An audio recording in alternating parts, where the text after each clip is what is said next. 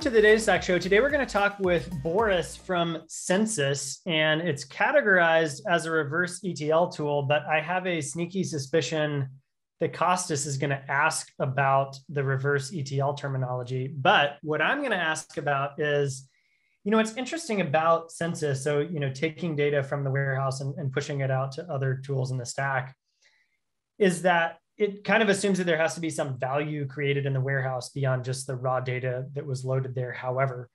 And so I want to know what Boris is saying as far as how, you know, how does that impact the way that he thinks about customers, their product that they're building, and the ways that companies are trying to do that, right? I mean, DBT is obviously sort of a new way, um, but I'm really interested in that. How about you, Kostas?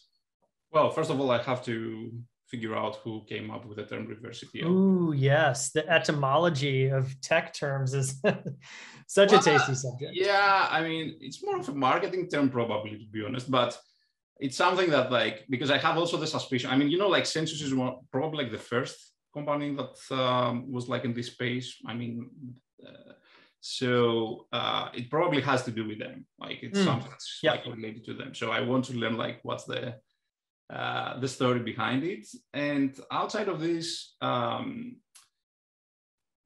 I want to uh, ask Boris and like try to understand what's the difference between getting data, for example, from Marketo and pushing into the data warehouse and doing the inverse, which is take mm. from the data warehouse and push it back to Marketo. Like where are like the different challenges there, why they're different, why we need different tools, um, and who is using? Is the user the same? Like why do we have different product categories at the end? That's what i want to yeah. uh, understand and i hope he's the right person like to have this conversation.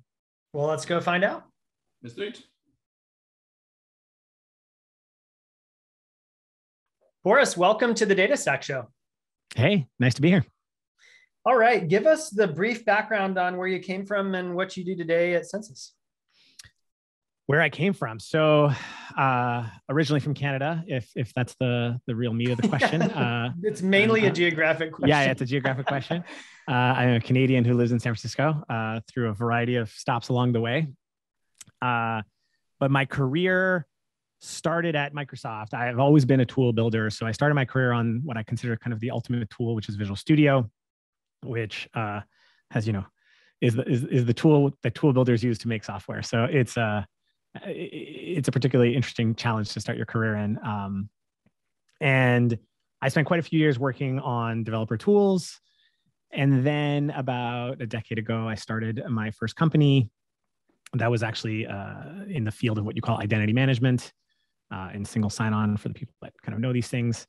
And that, uh, after I sold that company, it kind of my brain stayed tuned to what I call, you know, these kind of, kind of data silo problems, data federation problems, and uh, very quickly kind of re-centered on this uh, this problem that that we attempt like started to solve in 2018 uh, with with census, which was to get kind of data from product and analytics teams out into the rest of the business. We were just frustrated by the, the, lack like of bridging between those two worlds.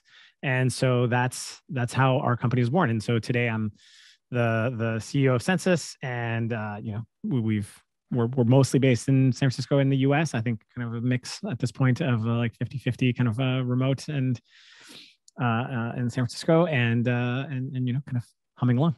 Yeah, w- one quick question on on the sort of the way that you like notice problems around data silos and other things was that both in your company and with your customers or was it primarily something you learned building the company yourself?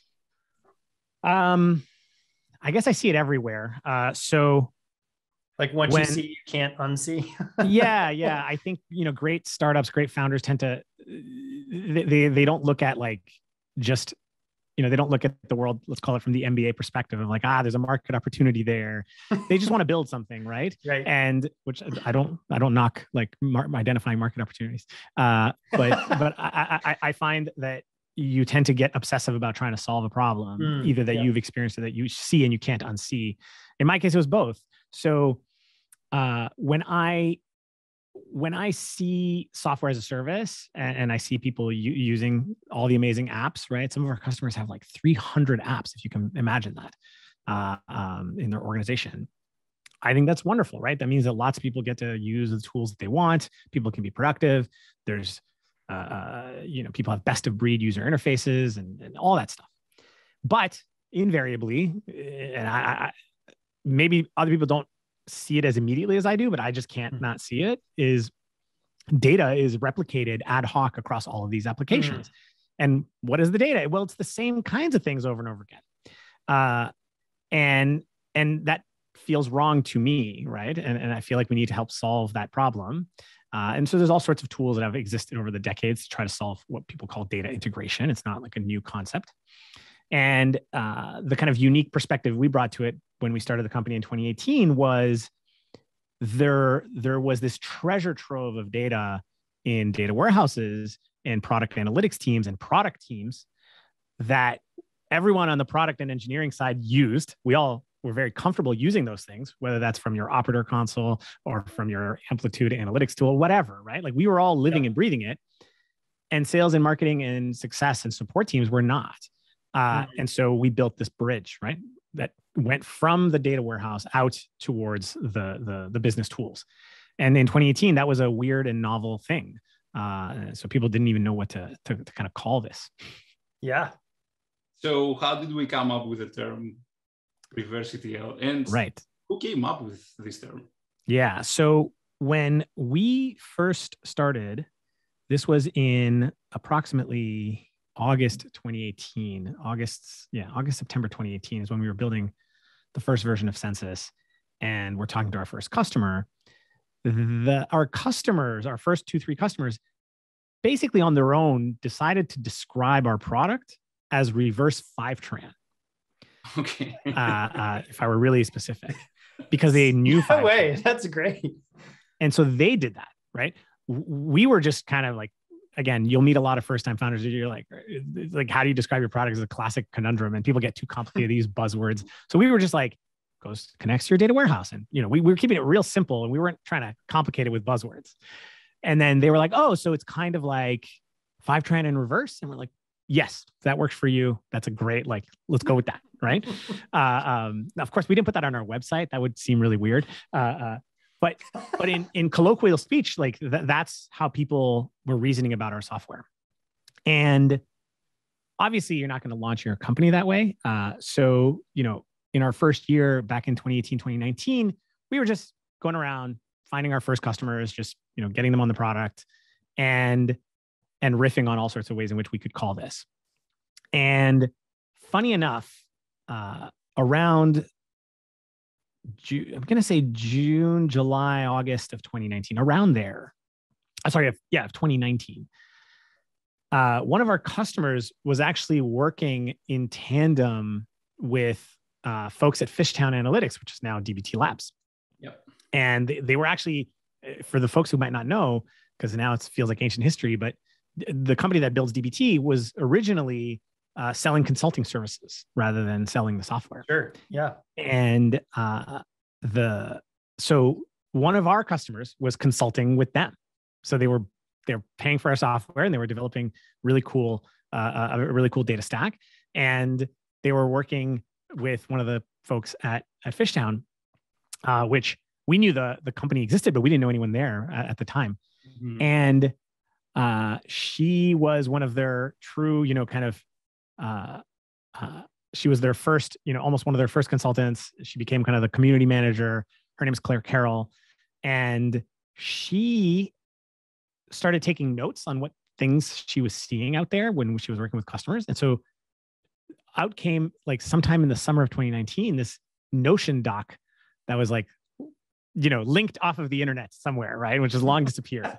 Uh, in which she was kind of taking notes. It was literally a page of just notes. And in it, there was this thing going like, and then there's this census thing, like reverse ETL, um, which from her perspective, it's like instead of branding it reverse Fivetran reverse, it made sense to just say, oh, it's like reverse ETL. Uh, so that's the first evidence of that word ever showing up in writing in my, in my to my knowledge. Uh, uh um, so The reason we weren't using that term at the time was I have the unfortunate problem of being like too knowledgeable or too nerdy or too mathematically obsessed or oriented, which is like the word is technically a misnomer uh, uh, since ETL has no direction. Uh, yeah. So it feels weird. At least Fivetran in reverse actually was a reasonable descriptor, right? Yeah. But reverse ETL actually seemed like a mathematically incorrect way of describing the thing, but at least it's a generic term. So, um, so you know, it was kind of we, we bandied around like uh, uh, uh for a while for fun uh, in in in 2019, uh, and then and then we launched the product and the company in 2020. Uh, and and it just very quickly became the the de facto name for this. Uh, yeah. And far be it from me to to kind of argue with the public, right? Uh, uh, it doesn't seem uh, like a worthwhile way to spend my time. So, uh, so that's my personal recollection of the the the kind of birth of that that word. Uh, and then, you know, when we did our Series A announcement, which was in February of 2021, this all these last couple years are all blending together. Um, the the then the VC ecosystem landscape machinery kind of kicked into high gear. Oh yeah. Uh, and they, you know, in the same way that engineers like to think about data stacks and, and, and like venture capitalists like to think in terms of data landscapes or landscapes. Uh, everyone famously knows the marketing, uh, uh you know, landscape that, and now the data landscape is just as complicated and, and yeah, full of logos. Yeah. And so, you know, this is like the kind of output they like to produce. This is like a success for them. It's like I've managed to put every logo I've ever heard of into a, a single chart I mean, with squares around them.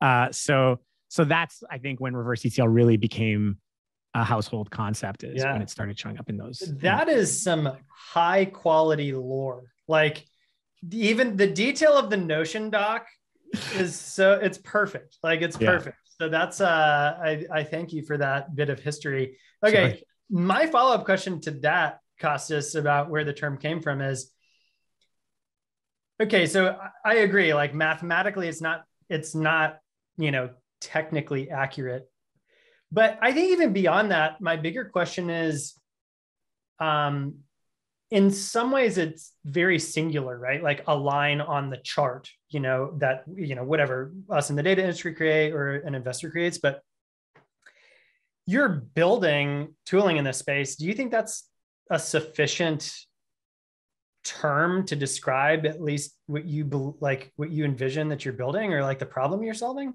Mm. No, I mean you're giving me really too much, uh, uh, uh too, too, too, much, too too much rope there to t- say whatever I want. But um, that's the point of the show. Before this call, right? Uh, uh, Costa had described himself as a, a, plumber since he had worked in pipelines for so long, um, and I I think there's great pride to be taken in building excellent data pipelines. Something that we pride ourselves on, and I'm sure you do as well uh, and our customers do. Uh, but it's not what I think the product is actually about, and it's not what excites our users. Right? When I think of great software, uh, especially tools, I mean, there's softwares of all software of all kinds, right? But when you think of great tools, you're actually you're basically trying to make someone else, right? Your user, uh, kind of a more awesome version of themselves, right? That's just the best way to think about it. And our users are not trying to become really good data pipeline people. That's not that's not their goal. Uh, and when we started the company, I was not thinking, you know what I'd love to do is just spend my life building great data pipelines. Like that's not what the core animus was. It is absolutely an essential means to to reach our end. Uh, but the, the what I wanted to solve and what I get to see with our users every day is I wanted to bridge the gap between what I called analytics and product organizations and the go to market organizations. Like that, I was very frustrated, but that that gap existed. And there are a lot of tools out there that had taken stabs at this, right? Um, famously, you know, there, there were tools like Segment that connected the code that you wrote in your app directly into your marketing tools. This was a huge sure. step forward. But I kept seeing this problem that the data organizations that were emerging the BI organizations that were emerging were disconnected from the rest of go to market, right? Finance, support, sales, like just the whole world of the company. And so that just building that connection was important to me. And you don't just have to build data pipelines to make that work, right? You have to change the relationship between those teams and the data mm-hmm. organization. And if you ask data teams all over the world and you ask them what their day to day life is like, they will tell you that they're really crumbling under kind of load, like support load of getting data requests, having to solve like yet another dashboard. They're very overworked, like IT teams, right? And what I felt they needed to move towards, and, and what I think Census's underlying goal should be for them, is not to make pipelines that run faster than the pipelines they could write. That's a that's a good to have, right? And I'm glad that our pipelines are superior to the ones you would build yourself. But actually, to turn your data organization into a we use this term a lot nowadays, right? But we really meant it from the beginning, which is like a kind of product or platform team, mm. because it's the only way to serve your whole company at scale. Otherwise, you're just the hated service org, right? You're the IT team that no one really likes because everyone's always stuck behind 32 requests. Yep. And and so that was a huge kind of part of what census has always been about and, and continues to, to be about, which is so see, it's not like really about the plumbing. It's about saying, how do I turn the data team into uh, the the the most essential part of, of your whole company that everyone else depends on. And and so that's you know, uh, I, I kind of you may have caught me say this, caught me saying this earlier, but I think of census a lot more as a data federation tool rather than a data pipeline tool. That's why it's called census, because my goal is to say at a company, there should only be one version of the truth. There should only be one census of your users, your data, et cetera. And everything else in the company should be naturally kind of a cache on that data, pulling from that information as seamlessly as possible. And, and that's what census does. Mm-hmm. Uh, Boris, can you uh, elaborate a little bit more uh, on how this reverse Fivetran ETL, whatever we want to call it, right? it's actually different, and what are the challenges that's what Fivetran does not have, right? Like right, right. Pulling the data from the apps or the database and push it into the data. Totally, totally. Yeah, I mean, this is a great, uh, that's a great question, and and everyone you know, from the outside of almost any company, any software, any tool, right? People always think it's can't, how complicated can it be? It's reverse Fivetran, right? Uh, so as soon as you distill things into like two words, it's like then you you somehow lose all the underlying complexity. So so there's a couple really significant ways in which this is different and you know difficult in its own right for people to build. Um, the first is when you're when you're pulling data from SaaS applications into your warehouse, you're actually dealing with very consistent source data, right? So if you go to, you know, all the various ELT tools, right? They'll show you the ERD for all these applications, right? And they're fairly stable. And what you're doing is you're saying, let me get Salesforce, let me pull the schema and like dump it into the warehouse. And warehouses, to their credit, are very easy places to say, here's a table, just dump it, right? Mm-hmm. Um, I'm not trivializing the work of building great pipelines there, but you're you you're basically going from a kind of raw data structure that is not changing super often with read APIs off those products that are generally the first API that any SaaS product will build down into a data warehouse, which is of a low N, right? There's only so many data warehouses uh, um, that are fairly consistent at being able to write a raw table in, right? And then all the little details, of course, emerge of trying to get that just right and incremental, et cetera. When you're thinking about this in reverse, the first thing is everyone's data models are different, right? You're, you're at the end of the data refinery. So it's not the raw data from Salesforce that's always the same schema. It's whatever entities your company has evolved, right? What your data organization thinks is essential about your users and your workspaces. And maybe we have maybe you have a many to many model of your of your of your user base versus maybe you don't right maybe it's one to one or uh, it, it, there are no organizations it's all just b to b to c right there's all these various patterns are bespoke to your company and census sits at the at the that's where census starts right it has to first take your distilled version of the data at the end of all your you know tri- pipeline transformations and and say okay we'll work with this right and then we have to write into applications and there's two problems there. One is writing data, the APIs are terrible because most SaaS applications focus first and foremost on like easy read APIs. And the write APIs are very heterogeneous, very generally very poorly designed. Um, and then if you screw that up, the the damage is really really high. Yeah. So I think that is the most important aspect of this. So when you think about uh, a product like ours, even if you were to do this yourself, right? So you're an engineer at your company and you're going to build these things, you will generally be reticent to to do a lot because your upside is like I got the pipeline done. Who gets promoted for that? And the downside is very significant, right? Because you're going to accidentally put a million things into Marketo that you weren't supposed to put in, and no one knows how to delete those things. Guess what? Deleting is hard in in, in SaaS applications. And and so now your marketing team is angry. You've sent emails to the customers that are wrong. So the downsides are, are very high. And Mm-hmm. so a lot of what I, I think that's actually what generally held back this side of the company. Hmm. This is why the product and analytics, uh, is, you know, like the, the that whole world was actually evolving very well because Yeah. it's agile. But this side, it's like one project a year, one project a quarter, right? Yep. And so that's really what we were trying to change here. And and so what do you have to do? You have to validate data more deeply. You have to you have to do a lot more uh, uh, fine-grained ways of like writing data in. So we have you know all sorts of different capabilities. You you can use Census to say, hey, I only want to update what's there. I don't want you to create new stuff. Mhm. Or you know, I want you to write into Salesforce, but I also don't want you to overwrite this field if it's already there. Because again, there's much more subtle stuff going on when you're when you're in these operational workflows. Like there's there's an email that's going to come out automatically out of this, right? There's a salesperson who's going to make a phone call an hour later based on what's happening in there. And so we have a lot more like subtle capabilities to, to ensure that you're not breaking your your your operational world. And, and and so you know one way to reframe what Census does as opposed to pipelines is actually kind of a continuous deployment tool for data. And, and it has all of the you know the needs there that that yeah, hundred percent. And actually, I want to uh, like extra emphasize what you are saying about like the difference between reading and writing from the SaaS application.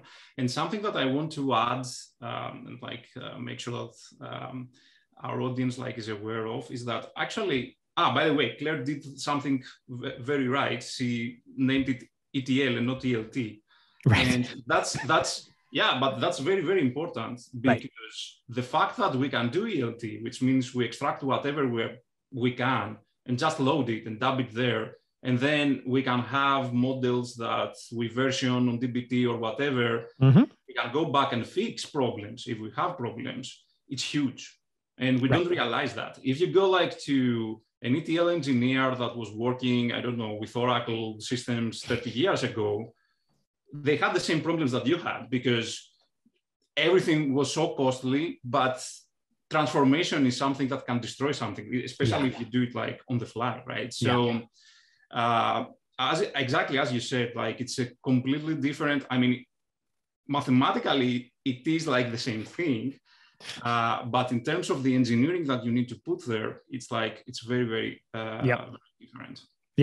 And you know look i'm a i'm a i think a lot about you know product a- as an experience as well. And if you think of the the the user that is trying to pull data into a warehouse right? That that, that the elt scenario that we've been all kind of very familiar with for the last decade. If you think about what they're trying to accomplish almost all of them it's in the name right? It's analysis. They're, they're trying to pull data in so they can do some kind of analysis. How much money did we make? How much money could we make? You know like it usually comes back to one of those two things. Uh, uh, um, and and and so the the the use case is very like there's lots of kinds of analysis but it's analysis. Whereas in our user analysis is not the goal.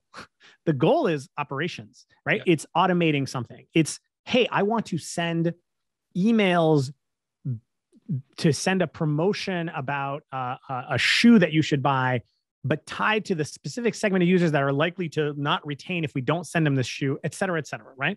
And so you're trying to get fine-grained detail into your email system, but not not to do a spreadsheet, right? So that an email comes out, or a Mhm. sales call comes out, or a, a a better support experience comes out. Like that is a very different end user need. And so I think when the person wakes up in the morning and opens up our tool versus opens up uh, um, uh, an ELT product, they're, they're what they're thinking about is different. Like I think they're they're actually just just trying to solve different problems. Quick question before yeah. uh, uh, Eric answer, uh, asks his question. Uh, are the users different between uh, a Fivetran user and the Census user? Yeah, I mean, I'm sure you you see the same thing as I do in, in terms of data teams range dramatically in size. Yes. So I uh, I admire the crap out of like a lot of our users who are you know data teams of one who like you know they they they they they uh they are uh you know th- three things in one body so to speak. Uh, uh and um and so they they are this they pull the data in they model the data they push the data out they do all of it in their own it, it, all on their own. But but I think when when a data team grows it actually ends up being uh, different people. Yeah because the, the there is a user who is you could think of it as like almost like maybe the concept what, are people getting you remember you used to talk about the forward deployed engineer? Remember that concept? Mm-hmm. was it palantir that first started using that term? Uh, i think data teams now have all sorts of roles right? There's the core platform building kind of people. There's uh, ml who you know people just sitting there doing like really cool analyses that hopefully are worth the money. I don't know. Uh, um, and and then there's this kind of forward deployed analyst let's call it you, your job is actually not just to sit there and pontificate on what is revenue, uh, but actually to go help the marketing team, the sales team, and the support team to do to to to, to improve the operational excellence of the company. Mm-hmm. And and so yeah, I think that person might on a different week be doing something related to Fivetran and analysis, but on a day to day, I think at scale, your data team, this is actually different sets of people. Yeah. Mm-hmm. Eric, all yours. You saw me chomping at the bit. Uh, so Boris, I'm interested in what I'll call maybe like the the chicken and egg problem a little bit, and mm.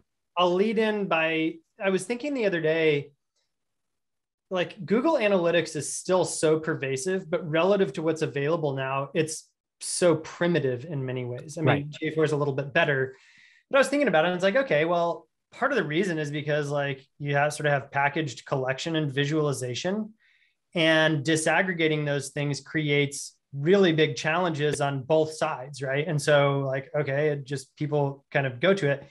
So you think about Fivetran, and it's like, okay, well, I'm taking, you know, data with largely known schemas and dumping it into a place that can ingest known schemas, like, you know, whatever schemas, is great. When you think about like the practical, I want to send emails or I want a salesperson to prioritize something, mm-hmm. there's an assumption, I think, that there's been some sort of value created beyond the initial dump into the warehouse. Yeah. And I'm just interested to know like how do you approach that is because every business's data is different, different metrics, so you know all that sort of stuff. Are you like reaching into the warehouse and trying to enable the creation of that value? I mean, tons of companies are doing it with DBT, but like in many ways you need to have something to send that isn't there when the data arrives yeah. from Fivetran. Yeah, yeah, yeah. No, this is a this might be my my favorite question and topic and and, and thing to think about. Um, you have to generate some kind of IP. Yeah, your, That's your company, a way more succinct way to say it. yeah, and, and so I think if a company has two kinds of IP, uh, like there is the widget that you make and how you sell it and market it and support it and you know all the kind of yeah. Th- those are both a kind of IP right? And our our our industry focuses like 99% on how to how to make better widgets and how to how to you know the source code is your ultimate IP and all these things. Yeah. And I think uh all of this call it you know how the sausage is made how it's sold how it's supported how it's marketed is absolutely IP Hmm. And if you have none, if if the way you if the way you uh, uh, send an email about uh, uh, you know promotions about your shopping cart are can be solved by you know your Stripe you know automatic uh, shopping cart reminder checkbox if I don't know if they have that but let's say they did um, yeah. then great then you don't need any of these things right like you have no you have no IP of your own right um, so I guess that puts the onus a little bit on companies actually thinking about what makes them unique. But here's the so this is here's what's happening and has been happening for years now. Um, I think your point about Google Analytics being kind of all encapsulated is actually a really good metaphor for this entire modern data stack, right? We tend to think about the modern data stack as uh, all these various tools and the phases, right? And the data comes in and then it's transformed and it's, you know, all these things. But in a way, the modern data stack is taking every single SaaS app and putting them, you know, making them fall on their side, right? It's like, so Google mm. Analytics ingests data, stores data, renders, like visualizes data, allows you to query the data, uh, reports on the data. Like it models the data, right? It has everything in the app. And the repeat that times thousands of applications. And so as long as everything you need can be done inside that silo, then then those products are great. And what the modern data stack does in some ways is just like reinventing that. It's like, well, now we can ingest all applications into one single storage layer. Okay. And then you can store everything in one place. You can uh, uh, visualize it all in one way. So is that a useful architecture versus, you know, 30 apps that each implement their own end-to-end data uh, stack? And I think the key question there is, does your IP involve joining data? Hmm. And if it doesn't, then this entire modern data stack could actually be, you could potentially throw it out, right? And be like, we have a billing system. All of our information about uh, how much money we made is in the billing system. You can query the billing. All that matters is then the question: Does the billing system give me like an interface that I can render and visualize and query? And if they don't, then of course, then you need to pull the data out so you can query it, right? But see, this is I think the transition once upon a time, people were pulling data out into their database, their data warehouse, because you couldn't query Stripe using SQL, right? Right. Yep. But that's going to change. All of them are going to increase how they, you know, make their data queryable. But what you can never do is from inside Stripe or Google Analytics, join and query data, right? So that's not possible. And so that is what uniquely the data warehouse and the data stack does. So then is there insight is there insight for your various teams that comes from joining data together? Well, in the real world, always, right? The the the um, your your sales prioritization uh, example or your marketing email, right? Those two examples, you could tie that to product activity. Well, that's one source of data. That's assuming your entire product is in one database, which it almost never is nowadays, right? So it could be multiple services yeah. of data. It's going to also be tied to financial information about that customer, which comes from what? Well, some kind of invoicing data, right? Which might be one billing system, might be multiple, right? It's going to be tied to their level of engagement with your team. So that might be your support data is getting joined into that as well. And that's just me kind of like rattling these along, right? I bet you the best companies have really interesting ways of modeling, you know, their users, their customers, their value, uh, uh, whether that's to forecast it or to automate it or whatever. So yes. I think the long and short of it is yes. Uh, you, um, uh, uh, when you use Census, you the goal is not to just take something from Fivetran into your warehouse and then back out into Salesforce with no with no intermediate sure. step. If if th- then I don't know what you're doing. Uh, then you're just you're getting the base value, which is like I can take something from one app and put it into another app, which is still good. right? So take like a Zendesk metric, dump it into your warehouse, and then take it from the warehouse and put it into Salesforce. Like that's still something. And I actually think it's a better architecture than connecting those apps directly because yeah, you sure. at least have a you at least have a hub. Yep. But I think real value, yeah, what that person again, if you're just setting up a pipeline that's raw to raw, then yeah, yeah, your job is not that interesting. Yeah. But the reason we employ data teams is is that they're actually sitting there going, I think I could take these disparate pieces of information clean them, distill them, merge them, and come up with new valuable insight. One quick follow up question, because I know I, I, know I want to leave enough time for Kostas uh, yeah. to ask about the term data federation because he and I talk about that all the time, and sure. he has some really interesting thoughts. But what are the ways that you see? I love the um, the paradigm of IP. Uh, what are the ways that you see companies creating that? And I'll just the the the context behind that question is, I mean, some of the most interesting ways I see that happening is through tools like DBT, where you're mm-hmm. sort of creating like interesting models. Of course, I think there are a lot of companies who just maybe even write SQL on the warehouse to perform the joins to create those data without sets. a doubt. Tons, tons. What else are you seeing though? Like, how are companies creating that IP? Is there anything interesting in the way that that IP is being generated in the context of those joins? Right. So I think it's always helpful, first of all, to step back and remember that we are very, very, very deep in the you know most cutting edge, sophisticated companies. For sure. Uh, and to your point, Google Analytics is still so widely deployed, right? Yeah, yeah. Um, and so the majority of this does not happen in DBT, does not happen in in in in, in all these places. Uh, but there is business logic everywhere. There's business logic everywhere. So there's the query that you wrote ad hoc in your database. Yes, there is. There's if if we were to be really honest, probably the largest repository of these kinds of uh, of this kind of logic, this kind of query, is not in in in dbt and github which is, i think that's what's great there is it's starting to become a better repository for this. Yep. i really hope our entire industry moves towards that model. But it's probably and don't freak out uh, in salesforce SOQL queries and apex code. I agree with you wholeheartedly actually. And and and i think the traditional you know kind of if we think about the sophistication stages, right, the crossing sure. the chasms, et cetera, et cetera, right? Silicon Valley and and broadly speaking, software companies have moved to this new paradigm, right?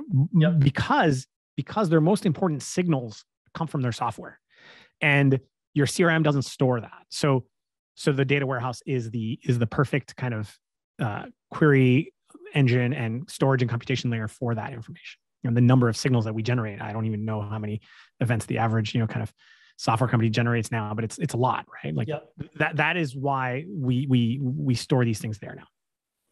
But if you think of non-software companies, which again, eventually everyone will be a software company, right? So so sure. this is why it's like you, we all skate to where the puck is going. But there is still furniture companies in the world, right? And you would probably find that the bulk of the intelligence, the IP that I'm talking about, lives kind of glommed onto their Salesforce instance in a collection of maybe checked in, probably not checked in code, code that looks like queries sometimes, like Salesforce has yep. a query language called Taco, or it's more imperative code like Apex. And and and you know the, the the real goal of census is to kind of move that into a kind of Git backed uh, uh, kind of open standard language called SQL. Yeah. Uh, and and and yeah, that's that's I think the journey that we're going to see over the next end but it'll take like i'm talking like easily a decade plus. Oh sure. Um, yeah. people we we all in our industry and it's why we're so exuberant and why we all raise all these capital is like yeah. we think these things happen much faster than than than they do. Um yep. you know i started my first company like like i said 10 years ago on a very simple premise that was about uh, if we're all going to live in SaaS, you need to have uh, your employee identity, your password, your login, like centralized and federated right? It seems to make sense. You can't have 8,000 passwords, right? In, in a company. That's not like, that doesn't work. Yeah. It's been over a decade. Uh, and we're still in the infancy of that market. Yeah. Like that's how long these things take. Uh, and so I think data, we're, we're very much in the for sure early stage. Yeah. Back in uh, when I was uh, doing consulting, we used to joke about, you know, companies of all types and sizes is like, okay, I've never seen a Salesforce that's not like some sort of Frankenstein. and it's easy to talk down to that. Right. Uh, because it's actually very painful, right? Like it does create pain. But in reality, like it's pretty advanced for a lot of the companies doing it and enables them to accomplish things that are re- like, what else can they do? I mean, of course, Absolutely. like the modern data stack, but like it is very helpful and it is pretty advanced to be able to customize all of this business logic uh, inside of the tool. So I, that's such a helpful yeah. perspective. Yeah. And I think there's going to be this interesting like cascade, right? So I think the data community has so much still, and it's exciting, right? That's why we're all of us, a lot of us work in this space. And there's so much to distill from the world of engineering, of software engineering, down into, let's call it the broader world of data. So now thank thank goodness, but like we're still at the early days of everyone realizing that you could treat your your queries as a piece of code that can be versioned, right? Yeah. That, that's still it. We're still at the beginning of that, right? uh, and then there's going to be all the other things that go around uh, uh, the, the software development lifecycle for data. And even there, we have to get quite a bit more sophisticated, right? Um, if we're going to support these kinds of workflows. So I'll give you an example. One of the reasons you're ran because because if the cascade is like software engineering, let's call it to data organizations and then down to business organizations. So if you think of that Salesforce that you were you saw in your consulting days, everyone always says you're right. It's a mess. It's a mess. It's got all sorts of stuff. There's like a field called blah blah blah underscore two. You know, it's like there's tons of those, tons of those. But what?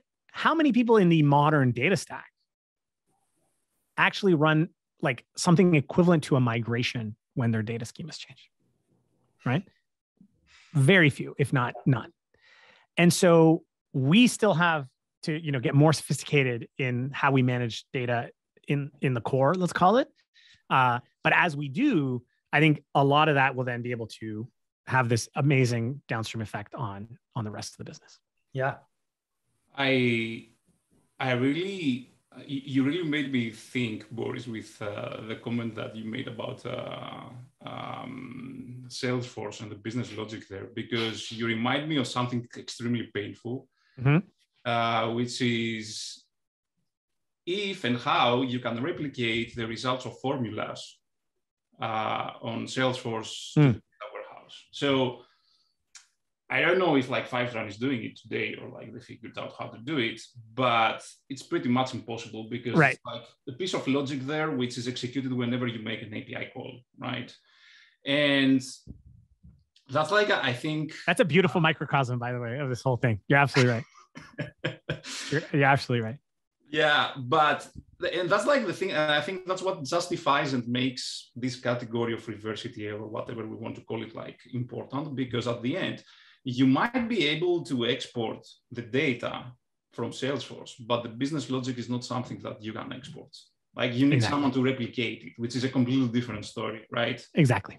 Exactly. so uh, you need to get the data out, but that's not enough. You need also whatever you are going to do with this data to push it back again, right? And these systems are like, I mean, many times I'm, I say, uh, like when you get like a salesperson, you can ask many things from the salesperson, but like you cannot ask them to leave the Salesforce. That's where they live. They don't Correct. want to learn about new tools. They don't care about that stuff. The only thing that they care about is their quota. And like, and that's what they should do. Like, they shouldn't care. Like, why they should care about like whatever shiny technology we have.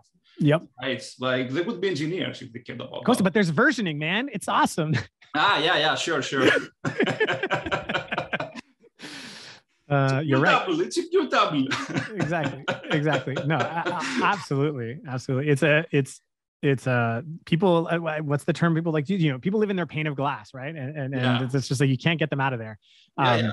And I, I think that there were like some attempts to like do that with stuff like Looker, for example. Like Yes, The, the yes. previous version of like uh, BI tools, where we're like, yeah, ask your salespeople to go and like work from within uh, Looker, and then there will be links to go back to Salesforce. Like, no, why? Why? Because do you know Why? who suffers from this the most it, it's actually kind of tech founders in the valley because they start their company and they're like yeah yeah, yeah i got looker my salespeople are just going to go there and it's because like they're also deluded Yeah. because they see this as easy right because you and I can do it.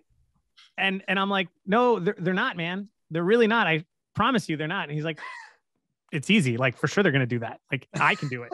And I was like, uh-huh, uh-huh. This is and it, it sometimes takes years for them to realize, like, oh yeah, I hired a VP sales. Yeah, and like they, they ended up doing their own thing. I'm like, uh-huh, uh-huh. They do their own thing.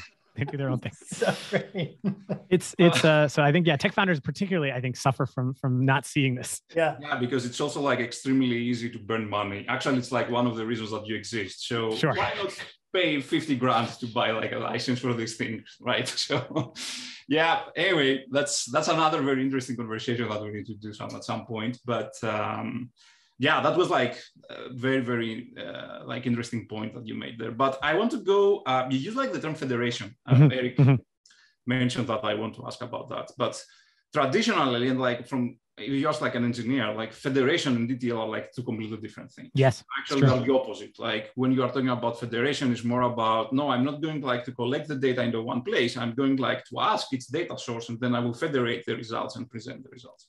It's true. Uh, so if this is like what you are thinking of like a solution, or unless you have like a different definition, would be more than happy to uh, discuss about that where do we stand today and where do you see going right? Yeah. like because today i don't know like technically speaking this is not federation that we have. No no no. I think you're, you're that's a very reasonable uh, technical pushback. Um so let me start with uh, uh an analogy i tend to use with my team but it's going to make you're going to appreciate it because i think you're close enough in age to me but um i'm starting to notice that like younger people are like what is he talking about? Um so your laptop, your your your computer has an operating system in it, uh, and it provides a lot of things for you, the user, and for the applications that are built on it, right? And uh, I I think that when we move to the web, there are certain things that we kind of lost along the way. Uh, we gained a lot, so that's fine, uh, but we've we lost a few things along the way. So one is login, right? So when you log into your computer, you log in once, and then like you don't open Word and go, please log in. Yeah. Uh, you don't open Photoshop or whatever and says, please log in. Please, with caveats that everyone now is a web web app, so like that's different now. But but let's put a pin in that. Uh, uh, um, so so that was you know your your identity, your user identity was just given as part of the operating system to all the other applications. So so the the they just were receivers of that knowledge and just used it. Uh, and in the same way, there's a file system in your operating system, right? Your computer has a file system. And when you open a file in Word and you want to open that in Excel, like it's the same file. They don't both have to implement a file system to mm-hmm. be able to read and write data. And so I think when we moved to the web, we lost both of these things.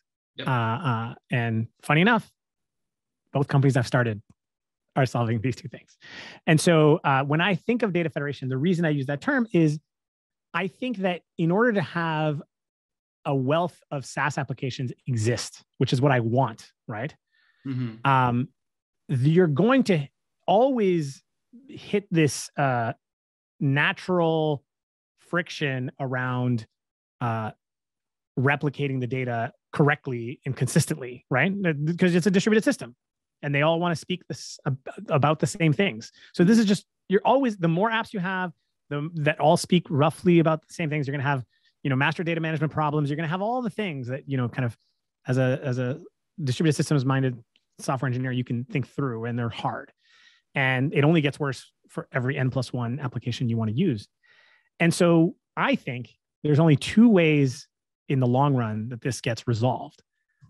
One is the one I don't want, which is everything gets progressively acquired and uh, by by larger companies, uh, mm-hmm. uh, and because then they can create that integration, right? They can create the tight integration between Slack and Salesforce. I'm sure they will, uh, um, and and Microsoft is. And I, maybe it's because I started my career at Microsoft that I saw this because Microsoft is basically the best company in history at doing this. Yeah.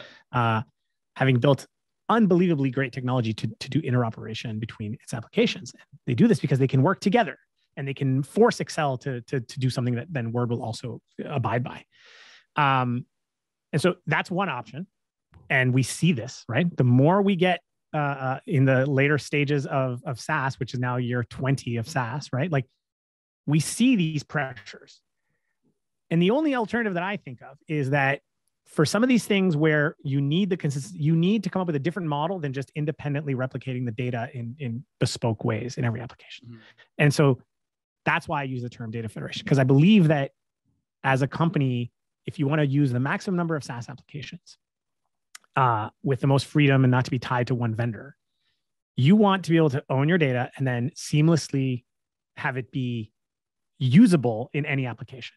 Mm-hmm. So today, my only option to be able to enable that world for people is to say, okay, what is a place? Let's work from first principles, right? Well, you need to store all the data in a way that is like the most cost effective and scalable data warehouses like it's that or S3, right? It's like like either just raw storage or data warehouse. Like those are your those are the best tools we have from first. If something better came along, I'll take it, right? But right now, that is what's best. And then I want seamless ability to use that data from any application. If I could eliminate the data pipelines and just say, you know, your app is built directly off the data, that'd be great. But because of the way OLAP, you know, uh, uh, warehouses are designed, because of the the incentive structures in the market today, you can't you don't get that right? So you you there are tools by the way in like salesforce has this concept. They're the only one but they have this concept of like external objects where you can have an external back data store but it's slow and then you don't get all the features and you don't get the formulas and you don't get the indexes and you don't get all the things. Yep. so thus what census does which is we will push the data into the internal file system of each of those products thus turning them into a kind of high performance cache on a single data store Mhm. and that's that's what i mean by data federation Yeah, no, no, make, makes total sense. Uh, I have a, uh, it's not exactly like a product uh, question. It's more like, um, it's probably like a, yeah, it is a product question, but it has more to do with like uh, the experience of building a product. Actually. sure sure So, since you first launched uh, Census Yeah. until today, Yeah. what you have learned you Mm. by building this uh, this product? Like, great question i think i would say that i've learned the most about our users right and, and and data teams as a whole and so it's been really fun to to, to watch them on this journey uh, uh, over the last three years just working with people uh, and so i will i've i've talked about this before i think but i, I it really is the thing that always comes to mind uh, which the you know the first experience i had when we when we started selling this to, to users was hey like great this is going to save me time or this allows me to do the thing that i didn't know how to build. I don't know how to write this kind of connector so it's great. I write sql i don't know how to write python you know it's like that was the initial uh, kind of experience we had and that was not surprising. That was not something i was like ah what a discovery i've made. That, but then and we talked a bit about this but it became very visceral to me. After a little while of especially in the early days, our early users using our software, but now it's become kind of, it, happens more often. Uh, I started seeing a very unusual reaction from our users that actually caused me real uh, pain. Like I was worried. I was actually really like, are we screwing up here? What's this, this seems bad. These are bad. These are not the words you want to hear from a user, right? You Mhm. want to hear excitement, power, enjoyment, right? And multiple customers started using effectively expressions of fear. Mhm. They started like l- genuinely saying, "I'm scared" uh, in so many words. One one one customer's like, like this is I feel like I'm holding a machine gun, like Mhm. verbatim. I was like, well, that's not the feeling I want to engender in you, but you know, so I could have shied away from that. I could have been really freaked out, but but I started to think about it, and what I realized is census is this is what I mean by it's not just a data pipeline. It, it's giving these users a power they've never had before. Yep. Right. The power to do analysis is not new. It's massively improved with great tools. But the ability to analyze data is something they always had. Mhm. But the ability to, from your vantage point on the data organization, to cause a marketing email to get sent, to cause a, a salesperson to wake up in the morning with a task to call this person, th- that did not exist before census. Yeah. And of course, it's scary. like now it's your fault if something breaks Yeah. or and breaking would be ideal. Like if census like said, "Hey, sorry, the pipeline can't go today." That's that's not even that's that's actually bad, but nowhere near the worst case scenario. The worst case scenario is you push bad data, extra data, data that that is like going to be embarrassing uh, when it goes out, right? And so that was the emotion that we're trying to get convey to me, and and so now I spend a lot of time really thinking about how can we build capability in census that improves your confidence right? So so i think this is the point right? Like in we have a lot of experience in the world of software on how to be agile but safe right? Code reviews uh, uh, um, testing, unit testing, like just, just decades and decades of, of research and, and, and experience, uh, uh, practical experience on, on doing this. And so I think of Census as one of our jobs to, to be done, both in the software and in our marketing, in our education, in our content, right? Yep. Is to try to teach how to make this less scary, but also to embrace a little bit of the fear, right? Because if you if you, I don't want people to go back to, I'm only going to press the go button once a year because it's like I don't want to break things. Yeah. Um, and so that's probably the biggest thing I've I've learned is the the biggest hindrance to deploying census is actually helping people overcome this new responsibility, this fear that comes with it.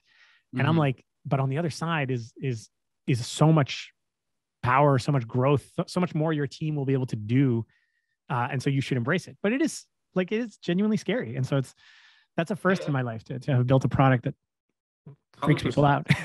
yeah, no, no, no. I, I mean, it's a good problem to have uh, because, course, like it's, uh, I think, an indication of like the value that. Um, I'll give you I'll give you an example in how, how this manifests. Speaking of product, like into like a very narrow, you know, because I think this is not solved with one giant. My marketing team's going to hate me. Like one giant whiz bang feature that you can announce, right? Yeah. It's it's a collection of very like fine grained thinking, like small features here and there. And so I'll Hmm. give you an example. So uh, there are a lot of products that when you write into them, to, to your point about like reading and writing is very different. They they have uh, there's a term in compilers, you know, about there's defined behavior, uh, and then there's undefined behavior, and then there's unspecified behavior, which is actually like a different thing. Which means like it'll work, but I can't tell you what's going to happen. Yep. So when you write duplicates into some system, not all, that's the beauty of it, right? We support like 50 different applications and like they all have different, you know, di- different uh, behaviors. Some of them will behave in very unusual ways when you sync duplicates. So some of them will reject it. Some of them will just pick one and you won't know which one, right? Yeah. And so that is something when we when we built the very first version of Census all those years ago, we just said here, let's take the table and like just efficiently. Our goal was to get speed. So it was like, let's get it as efficiently as possible into the destination. Yep. And then we didn't know, like, oh, turns out people are people have plenty of duplicates. Like the warehouse is not enforcing, you know, uh, uh, uh, uh, unique IDs. So Yep. they're singing duplicates. And like we were like powering through. We're like super fast. Like, yay, go.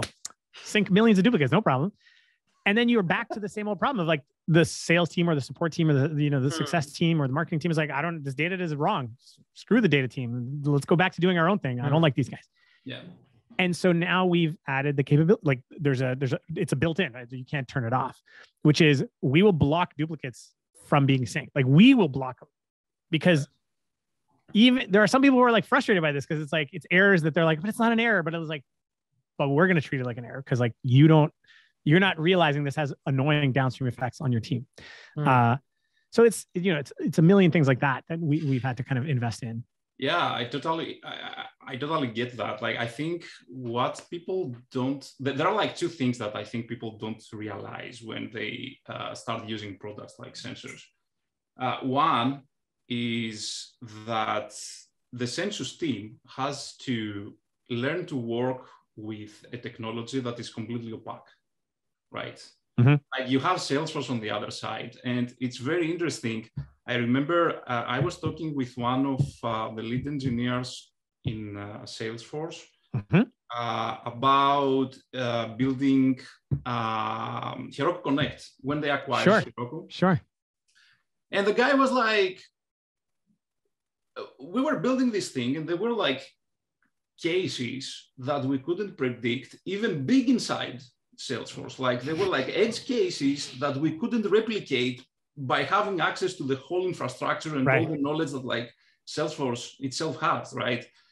Uh, so imagine now that you have Boris and his team, and they try like to interoperate with Marketo. I don't know how Yeah. many people Oh, have God. worked with Marketo, God. but I mean, Is there a, is there an off the record version of this podcast? I mean, it's the best. I mean, it's the dominant market pla- market, marketing platforms, and for a good reason, I'm sure. But like, uh, interoperating with it is like a completely different uh, thing. Like, there are errors that are not documented. There are like behaviors that they are not documented, and they are not documented for a very good reason because like all these APIs, they were not built like for Boris and his team to send data, Exactly. right? Like they had like a completely different specification. Uh, that's one thing that people keep to forget, I think. The other thing that they keep to forget is that as we add more and more systems into this stack or architecture mm-hmm. or whatever, mm-hmm. we are actually building a super complicated distributed system. Right. And distributed systems have like some very specific rules, like, and delivery semantics are like something that it might sound like very theoretical, but it's actually very, very practical. And I don't expect anyone in sales to know that one of the ways that we can deal with that is to have at least once delivery semantics. Right. right. Yeah, sure. I mean, it doesn't uh, work at the end like this, right? so, I'm getting PTSD. I remember using the word eventual consistency in front of a marketing team, and they were like, "No, no, we need it. We, we can't have it be eventual." And I'm like, "It has to be eventual. Like, the speed of light is not negotiable." And like, "Oh, that's what you mean?" I'm like, because in their brain, eventual meant like it'll come up tomorrow. And I'm like, I was like, wow, I forgot that this is a term that we use in distributed systems that has not nowhere near the same meaning. Also, yeah. it goes both ways. Real time doesn't mean real time uh, to a lot of people. So. Oh yeah, yeah, yeah. yeah. And the reason I'm saying that is because I think there's like a very important element, and that's uh, that's we are all responsible for being in this market, and that's education. Like we need to make sure that like outside of building like actually i think that like it might sound a little bit exaggerated but part of the product is also education. Like how we can help people understand what they can do and how they can do it with their uh, with their technology because there are limits and engineering is about trade-offs and we have to make these trade-offs. Otherwise like we are not going to have products that work. Yep. Yep. No i think that's a i think interesting products tend to have this educational component and and I, I I wholeheartedly agree that that's part of the the journey we're all on, and especially again, the world is large, and one of the things I have learned is n- the world is nowhere near as sophisticated as people think it is. Oh yeah. Mm. Uh, I tell people this even more. Like Silicon Valley is not even as sophisticated as you think it is, right? Mm-hmm. Uh, uh, um, and and like we work, you you you you and I work with some of the best, right? And it's like sometimes I'm like, wow, you, this is i remember I, I used to do really fancy demos in the early days like really i would try to drop in words like ai to just again you're like yeah, yeah, yeah, like you need all these things and da da da da and it's like and then one day out of expedience I, I didn't have time that day i did the dumbest version of the census demo like this is back in you know 2018 19 i did the dumbest like where there was like two metrics you could set up in 12 seconds like the count of page views. You know what I mean? It was like count page views. and then I was like, let's just put that in Salesforce for like a customer success team to know how many times they've visited your product. Like that was it. That was the demo. And I was, I was actually concerned, like, and embarrassed for them at first because I was like, they were in awe. Like people were like, this is the greatest thing since sliced bread. And I was like, this isn't the cool. What, what? This is the basics. This is not the. This is not the wow demo. This is not the wow demo. Like, what? Why are you guys wowing? and and it's like you forget how how yeah. starved people are for this, right? And then yeah. you're right, it goes hand in hand with then you start delivering stuff, and then they yeah, you have to we have to find a way to we're gonna have to do a book like distributed systems for for for regular people because uh, uh um yeah yeah uh, uh just because it's because I think it's too intuitive for you and I. Like it, it, we know it so well that we take it for granted and and then you end up in these weird miscommunications. And think about i think the need to educate is doubly so because you are right that we need to educate just to serve our own users right? Like think of what fishtown dbt have to do right? To, to teach the concept of version control is like super valuable. Just to teach that is unbelievably valuable. And if i think about what we're doing is we're turning the data team into this kind of like company platform team so we need to help them explain what's happening to everybody else. Mm. Otherwise, they will they will be they will also fail. So we have to act as like their advocates to the rest of the company, and like that's super essential. So you're right. The education is unbelievably important. Yep, hundred percent. Yep. Hopefully, these conversations help.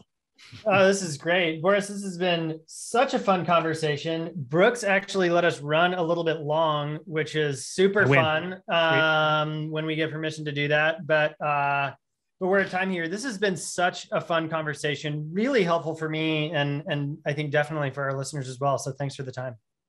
first of all, I have to say that Boris is so articulate. I find myself jealous of his ability to explain complex things and even dip, dip into the world of, you know, sort of formal computer science in a way that's so accessible. So, A, I appreciated that and learned a ton from him.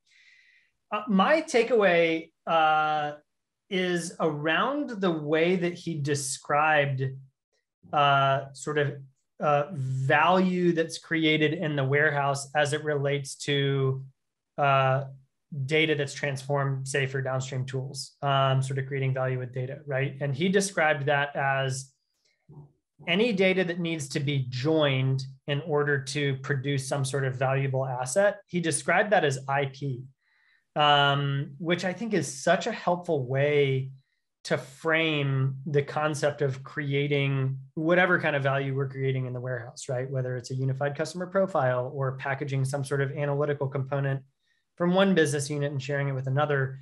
Uh, so I really, I just really appreciated that. I think it's been helpful for me to think through that. Yeah. Uh, I mean, okay, it was like an amazing conversation I think we had with him general, uh, there are like many insights for someone to take from uh, from this conversation. Um, what I keep, I really liked how he's using the term federation. Uh, mm. I mean, this was like something that we discussed also uh, during the um, the show. Um, traditionally, federation has a different meaning, uh, but it makes a lot of sense the way that he's using like the term federation and uh, that was like very interesting and it was also like super interesting to discuss with him about like all the challenges around building a product like this so hopefully we are going to have him again in the future and we have more stuff to chat about. Absolutely. All right well thanks uh, again for joining us on the show. Uh, lots of great episodes coming up so we'll catch you on the next one